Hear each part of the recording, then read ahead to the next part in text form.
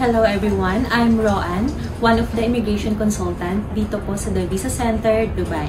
So I'm with Miss um, Julie, one of our approved clients po for student visa sa Canada. Congratulations po ma'am! Thank you. Ano po yung pakiramdam nyo na nabigyan kayo ng oportunidad na mag-aral doon sa Canada po?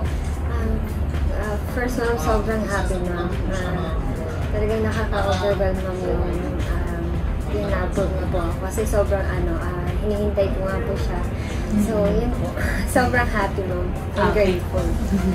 Congrats po ulit. And then, um, kumusta naman po ang naging experience nyo sa process nyo po um, with Miss Jensen?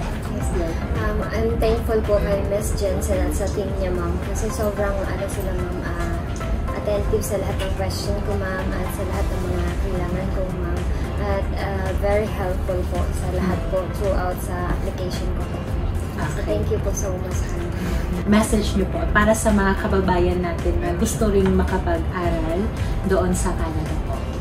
So, highly recommended po yung uh, The Visa Center po talaga. Ah, legit po na tutulungan ka po nila throughout the process, the processing. Dito na po kayo sa The Visa Center po. Ah, okay po. So once again, ma'am, congratulations Thank po. you so much. And then, um, good luck po sa bagong journey niyo po. Thank you so much, ma'am. Thank you Thank you, po. The Visa Center. Thank you.